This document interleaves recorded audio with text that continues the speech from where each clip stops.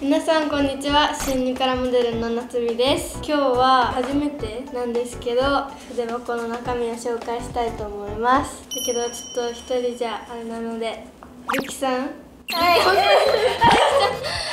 ゆきですカメラマンをしてくれそうです。はいしてくれます。ルキです。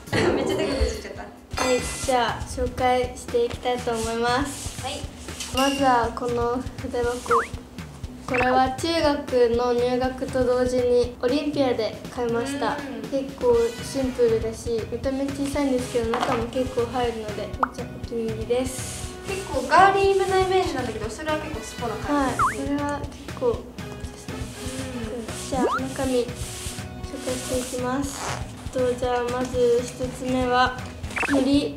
のりですビットのローズの香りの匂い付きのうん。のりです。香りついてるもんねはい次こちら。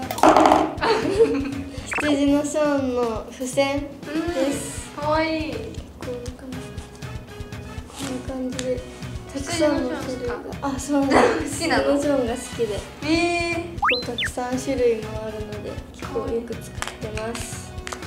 あこれもサンキューマートです。は いえっと次定規ー、定規です。これも本当は3 0センチ定規だったんですけど もう56年生ぐらいの時から使って結構ボロボロで。あるあるだよね。取れたよね そこ。そうなんです。これで1 5センチの分だけ使ってます。帰るか。次こちらスヌーピーのシャーペンです。これはロフトで買いました。これも中学と入学と同時に買ったものです。これ毒栗のやつですね。あそうですニコラともねコラボとかしてて。あ可愛いよね今日はニコラとコラボのお思ってた。これもシャーペンえっ、とこれも中学と同時に買ってロフトで買いました。さくらんぼの柄が好きで、うん。これも使ってます。次。こちらスヌーピーの赤ペンです。これはお友達に誕生日プレゼントとしてもらったもので生まれつきの時使ってます。うん。あのスヌーピーの柄が好きなのでスヌーピーの柄も結構入ってます。結構キャラクターが多いんだね。あそうですね。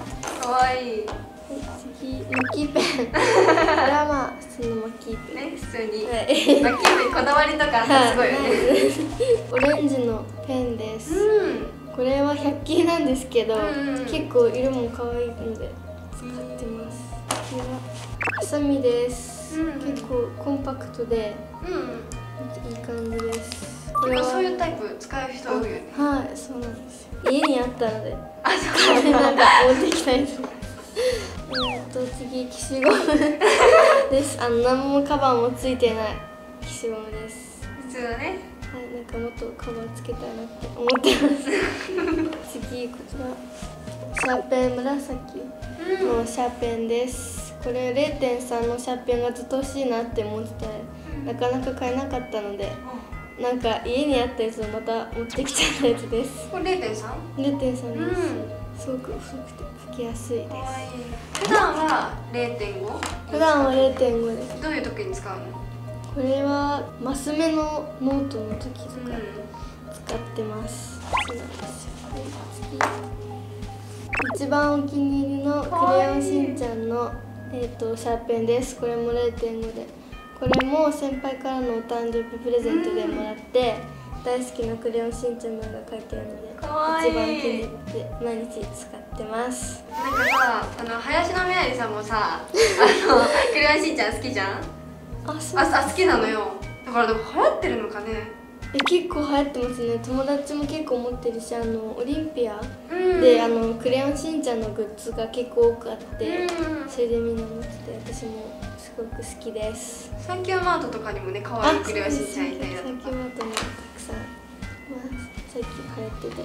最後です。最後もクレヨンしんちゃんの白のピンクのボールペンです。可愛いこれはあの UFO キャッチャーで撮ったんですけど、色が薄ピンクですごく可愛くて使いやすいです。